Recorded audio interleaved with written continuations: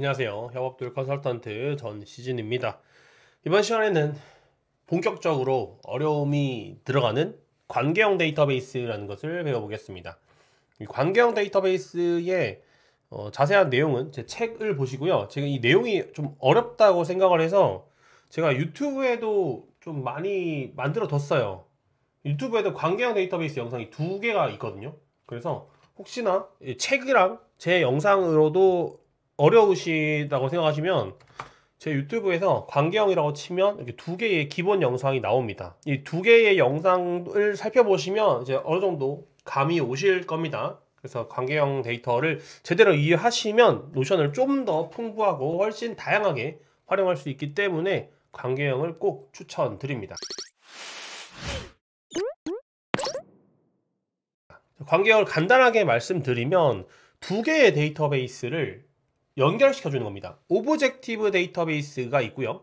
key result 데이터베이스가 있습니다. 이 두 개의 데이터베이스를 각각 데이터끼리 연결해 주는 겁니다. 예를 들어서 자, 표로 한번 볼게요.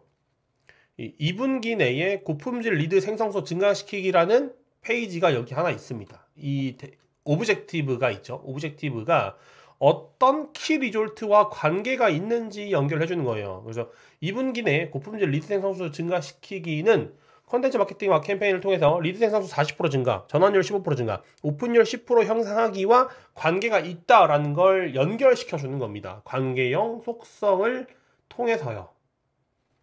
이렇게요. 연결을 시켜주면 뭐가 좋냐? 지금과 같이 진행률을 여기서 진행률은 80, 40, 40이죠. 이 진행률에 대한 평균을 여기서 불러올 수가 있습니다. 진행률로요. 예를 들어서 이거를 60이라고 바꾸면 80, 60, 40의 평균은 60이죠. 이 숫자를 그대로 긁어와서 여기서 한꺼번에 평 봐줄 수 있어요. 그러면 일일이 우리가 이걸 손으로 검색하거나 필터링을 하거나 계산을 하지 않아도 데이터가 추가될 때마다 자동으로 집계가 되기 때문에 편하게 데이터를 확인할 수가 있는 거죠.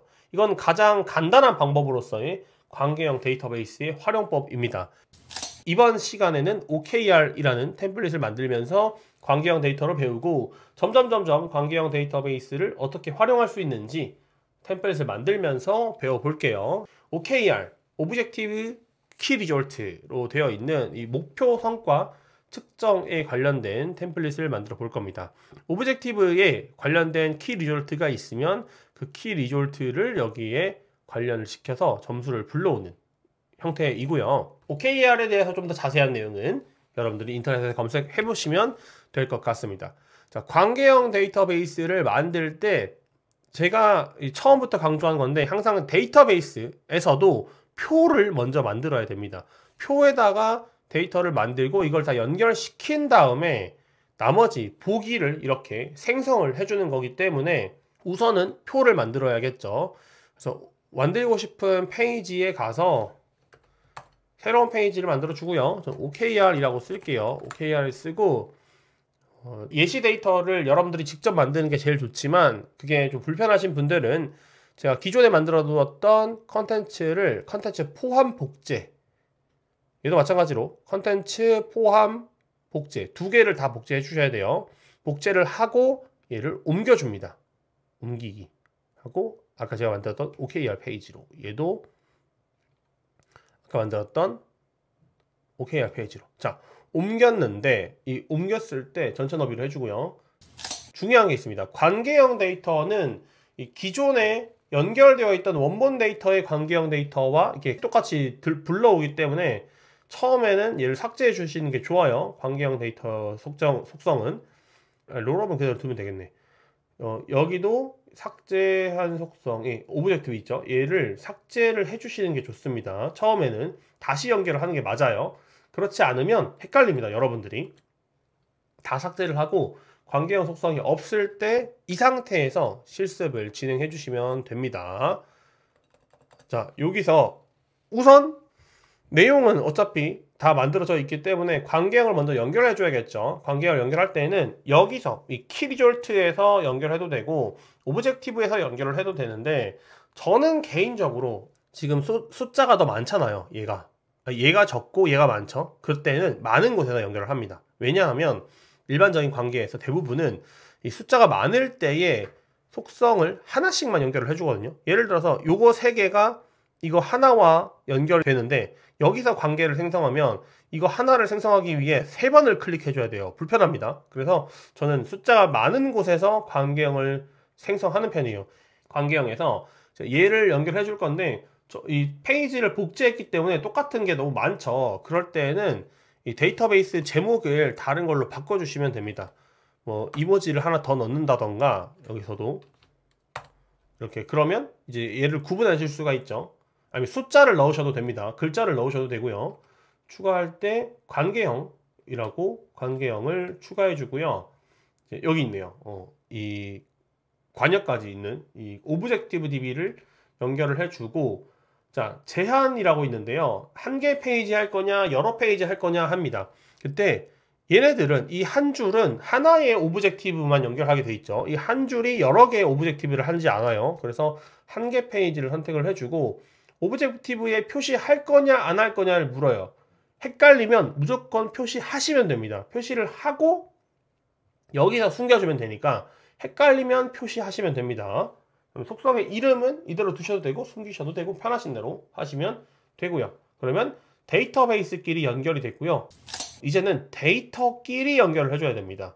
그때 앞에서 마찬가지로 제가 어, 이 key result 숫자가 많은 곳에서 하는 이유는 자 여기서 2분기 내에 고품질 lead 생성수 증가시키기라는 걸 선택할 때에는 이 lead 수라는 거 페이지를 3개를 선택을 해야 돼요. 한 번씩 이렇게.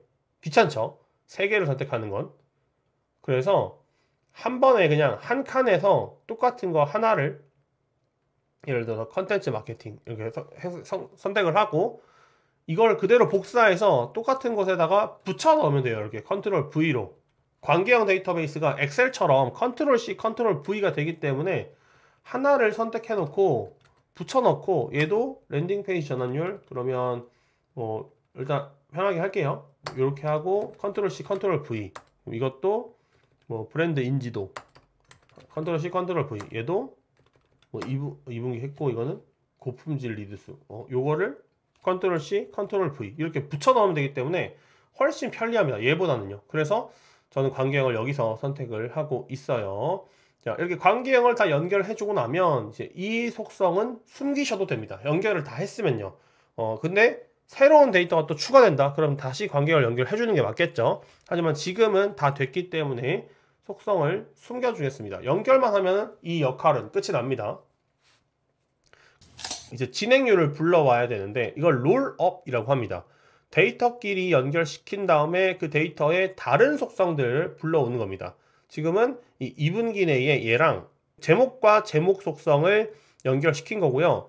연결시킨 다음에는 각 데이터베이스에 롤업이라는 기능으로 어, 시작일을 여기에 불러온다던가 진행률을 여기에 불러온다던가 이미지를 여기에 불러오는 등 다른 속성들의 값을 불러올 수 있습니다.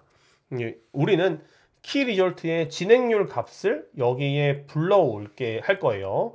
어, 속, 롤업 속성 만들어 주시면 되고요. 삭제하고 다시 만들까요?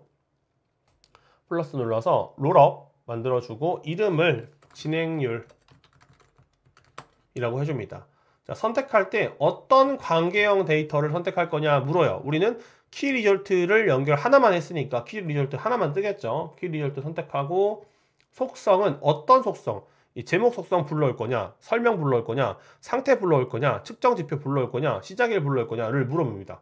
그때 우리는 진행률이라는 이 속성을 불러올 거고 불러올 때 어떻게 불러올 거냐, 원본으로 표시할 거냐, 뭐 고유한 값을 할 거냐, 뭐 이렇게 물어보는데 우리는 추가 옵션에서 평균을 클릭하면 각 값에 합쳐서 3개를 불러왔죠. 3개의 값을 합쳐서 평균을 내면 내서 점수를 보여줍니다.